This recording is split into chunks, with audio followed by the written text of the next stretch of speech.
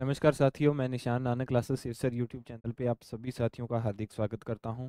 जैसा कि आप सभी को पता है, जो हमारी सीरीज़ चल रही थी करंट अफेयर विजन की, उसी सीरीज़ को कंटिन्यू करते हुए मैं आज आपके सामने लेके आया हूँ 20 मार्च 2024 के जितने भी मोस्ट इंपॉर्टेंट करंट अफेयर के क्वेश्चन हैं, उन सब का हम करेंगे रिविजन।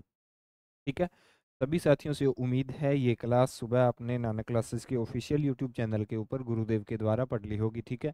इस क्लास के अंदर हम साथियों क्या देखेंगे? इस क्लास के अंदर हम देखेंगे भरतपुर जिला प्रशासन द्वारा ऑपरेशन निर्भया की शुरुआत की गई है। इसके बारे में हम पढ़ेंगे। राजस्थान के खिलाड़ी रजत चौहान का भारतीय टीम के अंदर चयन हुआ है। हम इसके बारे में पढ़ेंगे।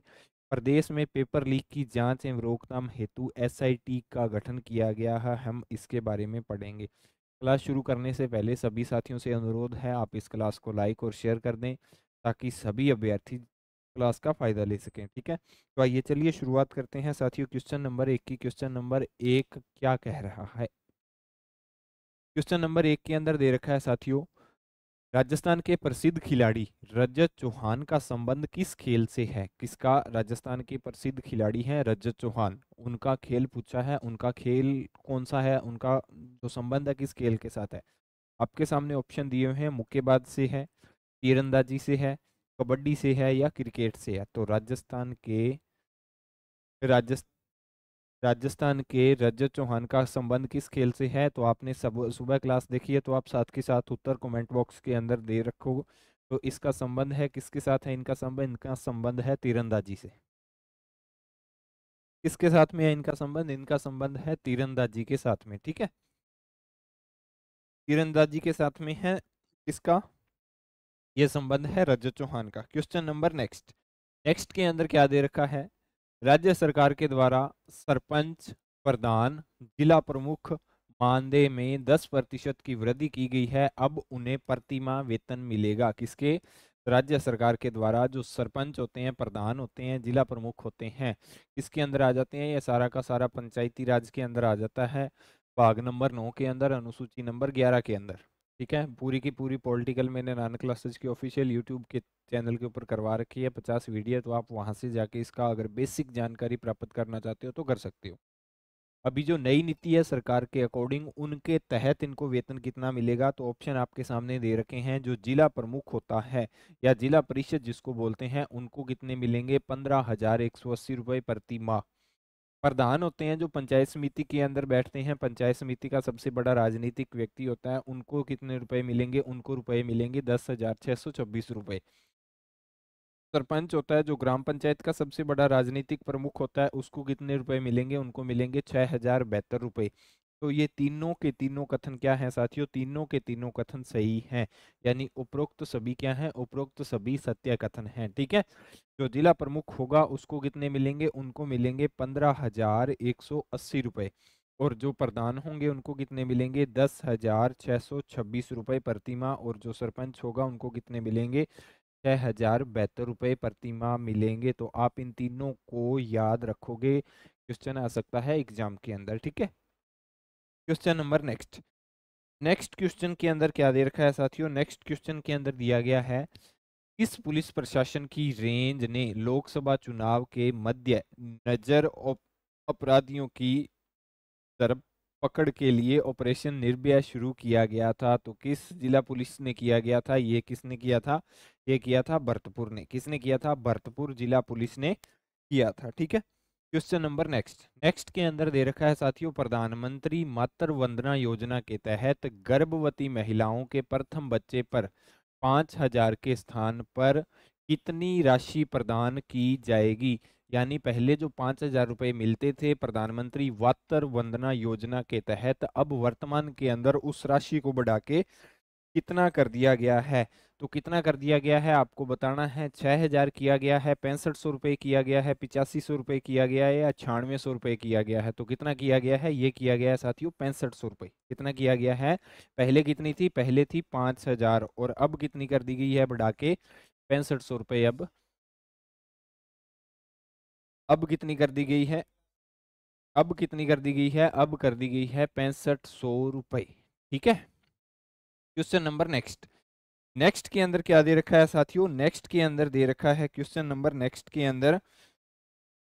प्रदेश में पेपर लीक की जाँच व रोकथाम हेतु किसके नेतृत्व में एसआईटी का गठन किया गया है? ऑप्शन दे रखे हैं वीके सिंह का, उमेश मिश्रा का, बीजू जॉर्ज जोसेफ का या रवि दत्त गौड़ का? तो आप सभी कमेंट बॉक्स के अंदर इसका उत्तर देंगे। आपके पास 10-15 सेकंड का समय है। आगे की जो क्लास आएगी ना, इसी प्रकार से मैं आपको पर्सन पढ़ के 10-15 सेकंड का टाइम दिया करूँगा तो आप सभी साथियों से अनुरोध है ताकि आपका रिवीजन भी अच्छे से हो जाएगा और आपको जो क्वेश्चन है वो याद रहने भी लग जाएँगे, ठीक है?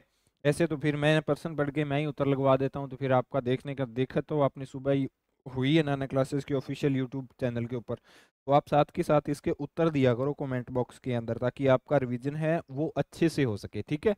तो किसके रोकथाम हेतु किसके नेतृत्व में एसआईटी का गठन किया गया है? ये एसआईटी का गठन किया गया है वी के सिंह के। किसके नेतृत्व में? वीके सिंह के नेतृत्व में एसआईटी का गठन किया है, ठीक है? Question number next. राजस्थान के नए मुख्य सचिव बनाए गए हैं। किसको बनाए गए हैं? कमेंट बॉक्स के अंदर उत्तर दीजिएगा। वीनू गुप्ता को सी एस राजन को, सुधांश पंत को या रोहित कुमार सिंह को? तो किसको बनाया गया है? सभी साथी कमेंट बॉक्स के अंदर इसका उत्तर देंगे। किसको बनाया गया है साथियों? वीनू गुप्ता को बनाया गया है या सी एस राजन को बनाया गया है या बनाया गया है सुधांश पंत को या रोहित कुमार सिंह को बनाया गया है? तो किसको बनाया गया है? जो राजस्थान के नए मुख्य सचिव बनाए हैं, वो बनाए हैं सुधांश पंत जी को। किसको? सुधांश पंत जी को बनाया गया है। आपके लिए क्वेश्चन है, इन्होंने किस मुख्य सचिव का पदभार संभाला था? यानी इससे पहले राजस्थान के जो मुख्य सचिव थे, आपको उनका नाम बताना है। ठीक है? और इन्होंने जो पदभार संभाला था, किस दिनांक को संभाला था, ये भी क्वेश्चन आ सकता है तो आप कमेंट बॉक्स के अंदर ये इतनी जानकारी ज़रूर टाइप करोगे, ठीक है?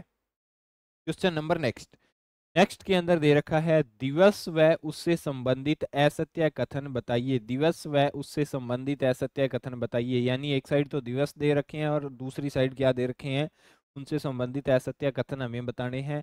तो इंटरनेशनल हैप्पीनेस डे मनाया जाता है। वो किस दिन मनाया जाता है? 20 मार्च को मनाया जाता है या नहीं? चिड़िया दिवस मनाया जाता है। वो किस दिन मनाया जाता है? वो 20 मार्च को मनाया जाता है। विश्व वानिकी दिवस मनाया जाता है। वो 21 मार्च को मनाया जाता है। और अंतर्राष्ट्रीय महिला दिवस मनाया जाता है वो 12 जनवरी को। तो आपको इनमें से जो असत्य कथन बताना है, असत्य कथन बताइए, इनमें से असत्य कथन कौन सा है? तो इनमें से कौन सा असत्य कथन हो जाएगा साथियों? जो हैप्पीनेस डे है वो आज या बीस मार्च को मनाया जाता है। ठीक है? चिड़िया दिवस मनाया जाता है, वो भी बीस मार्च को मनाया जाता है। और विश्व वानिकी दिवस मनाया जाता है, वो भी 21 मार्च को मनाया जाता है, लेकिन अंतर्राष्ट्रीय महिला दिवस है, वो किस दिन मनाया जाता है? वो 12 जनवरी को नहीं मनाया जाता। 12 जनवरी को कौन सा दिन मनाया जाता है? स्वामी विवेकानंद जयंती मनाई जाती है। कौन सी? स्वामी विवेकानंद जयंती मनाई जाती है, ठीक है? स्वामी विवेकानंद। जयंती मनाई जाती है 12 जनवरी को और विश्व अंतर्राष्ट्रीय महिला दिवस कब मनाया जाता है? ये मनाया जाता है साथियों आठ मार्च को मनाया जाता है। कब मनाया जाता है? आठ मार्च को मनाया जाता है। तो इनमें से असत्य कथन बताना था तो चार नंबर ऑप्शन है, वो हमारा क्या हो जाएगा साथियों? वो हो जाएगा असत्य, ठीक है? तो ये थे हमारे आज के क्वेश्चन, ये हमारे नाना क्लासेस के ऐप के ऊपर टेस्ट सीरीज़ चल रही है करंट की। इसके अंदर रोज आपको डेली का टेस्ट दिया जाता है, डेली पीडीएफ दी जाती है, वीकली टेस्ट दिया जाता है, मंथली टेस्ट दिया जाता है, ठीक है? तो आप इसको ज्वाइन कर सकते हो ताकि आपका राजस्थान का करंट जीके है वो मज़बूत हो रहा, होता रहे, ठीक है? तो ये तो हमारी आज की क्लास, अगर आपको क्लास अच्छी लगती है तो क्लास को लाइक करें, अपने दोस्तों के साथ शेयर करें। अगर आप नाना क्लासेस सिर्फ़ सर यूट्यूब चैनल पे नए हो तो चैनल को सब्सक्राइब करें। मिलते हैं नेक्स्ट क्लास के साथ, तब तक के लिए जय हिंद, जय भारत।